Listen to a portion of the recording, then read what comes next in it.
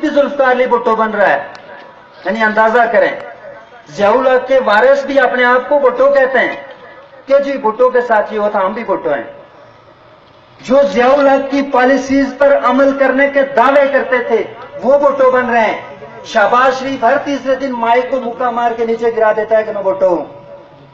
اسی طرح سے ایک اور تبدیلی خان صاحب، وہ کہتے ہیں کہ میں بھٹو کی طرح لیڈر ہوں، میں بھٹو کی طرح آ رہا ہوں۔ بھائی بھٹو کوئی فرد کا نام نہیں۔ بناول بھٹو لکھے تو سب کو تکلیف۔ میں دیکھتا ہوں سوشل میڈیا پہ۔ لوگ کہتے ہیں کہ بلاول بھٹو کیسے ہو گیا۔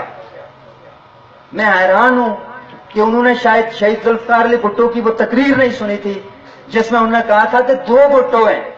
ایک بھٹو میں ہوں جو یہاں سے آپ سے مخاطب ہوں اور دوسرے آپ سب یعنی انہوں نے پوری عوام کو، پوری پاکستانی قوم کو کہا تھا۔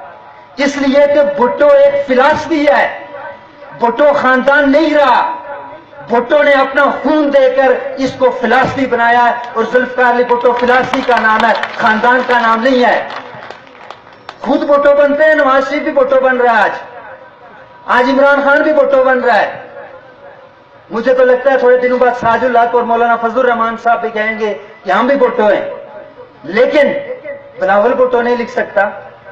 جس نے اپنے نانا کی قربانی دی اس ملک اور قوم کے لیے، جس نے اپنی والدہ کی قربانی دی اس ملک اور قوم کے لیے، جس کے مانو اس ملک اور قوم کے لیے شہید ہوئے اور جس کے ہزاروں لاکھوں کارکن اپنی جان کی قربانی دی انہوں نے اس ملک اور قوم کے لیے، یہاں کے نوجوانوں کے مستقبل کے لیے، یہاں کی آنے والی نسلوں کے بہتر مستقبل کے لیے، جنہوں نے اپنی جان کی قربانی دی۔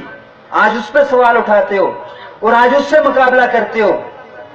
اس لیے جب محترمہ بینظیر بھٹو مشرف کے دور میں واپس آئیں پاکستان میں، تیس لاکھ لوگ جب کراچی میں تھے، میں خود موجود تھا، میری قیادت میں یہ باہر سے جو تین نوجوان جو شہید ہوئے، میری قیادت میں اس جلوس میں شامل تھے۔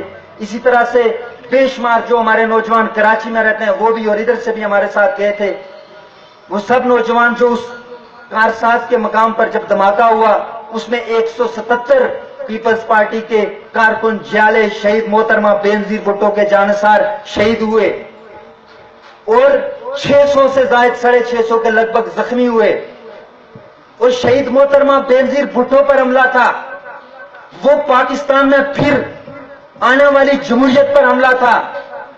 وہ پاکستان کے مستقبل پر حملہ تھا۔ وہ ان نوجوانوں کی امیدوں پر حملہ تھا۔ وہ حملہ صرف اور صرف محترمہ بینزیر بھٹو پر نہیں تھا۔ وہ